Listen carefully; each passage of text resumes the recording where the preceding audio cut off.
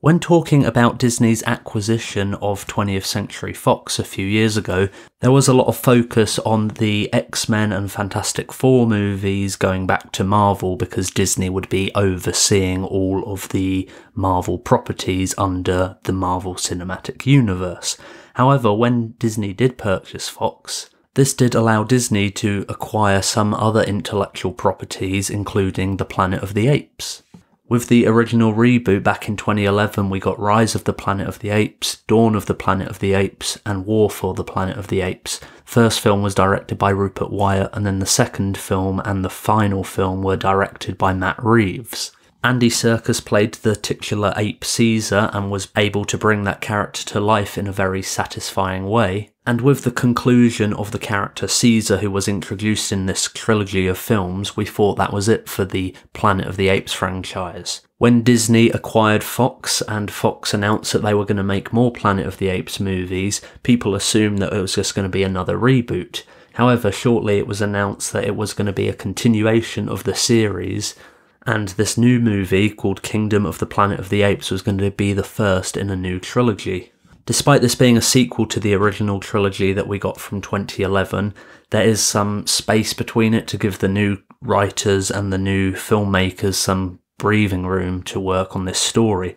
So it looks like this is going to take place several hundred years after the events of War for the Planet of the Apes. And I think that's a good thing because it gives us a bit more wiggle room to say that this is almost a reboot in itself, and if you don't like it, it's not necessarily connected to the trilogy that we got most recently. Although I do think it is quite a wise move to move away from what we got in the trilogy of films from Rupert Wyatt and Matt Reeves, and now that they have retired the Caesar character, and then we get to see his legacy in this movie, it appears, but this does seem to take place several decades or several hundred years later, just basing that on some of the shots in the trailer. I could be wrong, but it does just say in like the synopsis of the film that this takes place generations after the events of War for the Planet of the Apes, so it's up to your interpretation how long that is. This time, the film is being directed by Wes Ball, who you may know for directing the Maze Runner movies, and he was initially set to direct a movie called Mouse Guard, which I was actually very looking forward to, but then that got scrapped when Disney acquired 20th Century Fox. And there is hope for that coming back someday, but for now, we're just going to have to settle for Wes Ball's version of Kingdom of the Planet of the Apes. The synopsis of the movie is as follows. Generations after the events of War for the Planet of the Apes, many ape clans have emerged in the oasis to which Caesar led his fellow apes, while humans have regressed into a feral state. When the ape leader Proximus Caesar perverts the teachings of Caesar to enslave other clans in search of the last traces of a secret human technology, the ape Noah embarks on a journey to find freedom alongside a young woman named May. I think the trilogy did a good job showing us like the fall of humanity, and from my understanding of the original Planet of the Apes movie, which is mostly based off what we saw in The Simpsons, where Troy McClure does the musical for Planet of the Apes, is that an astronaut goes into space and because of like time dilation or some physics stuff like that, he returns to Earth thinking it's a different planet and he's greeted by all these apes like running things. And then it's towards the end of the film he discovers that he's actually back on Earth and that apes have taken over. And it's several hundred or thousands of years after he actually left Earth as an astronaut. I think the astronaut was teased in Rise of the Planet of the Apes. I think something's mentioned on the news screen during that movie about someone going up into space, and I don't know if we'll get to that at the end of this trilogy of films. I think they might be going for that in this new trilogy, but we'll have to wait and see.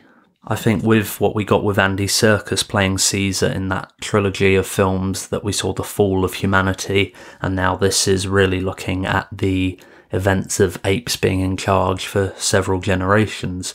And I just really like the imagery across all of the trailer where we see Earth, but you know, it's overtaken by plants and skyscrapers and roads, buildings are just destroyed and have engulfed like what society is.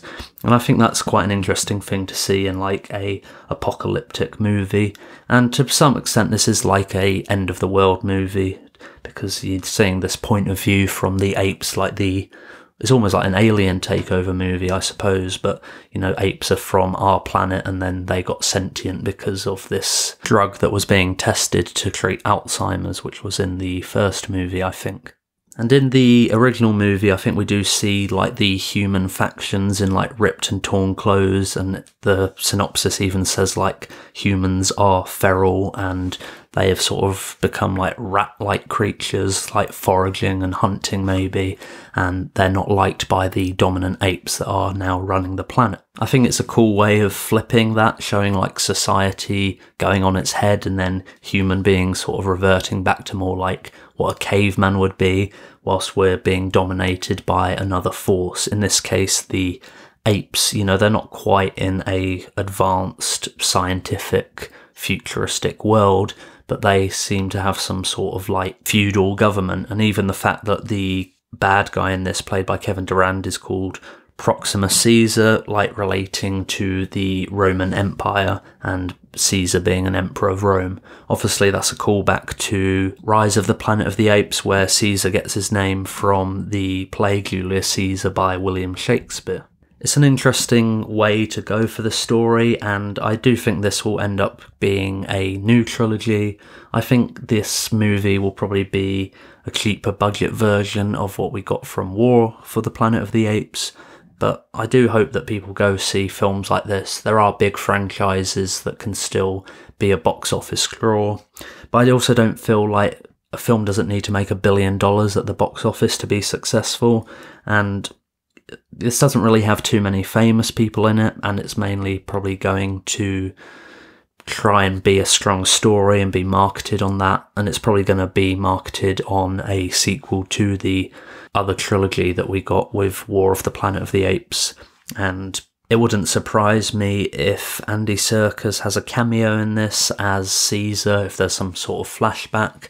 It does appear that they are pushing away from that, and there may be no real narrative reason why the character is going to show up, and it would definitely just be a flashback or a vision or dream sequence, for example.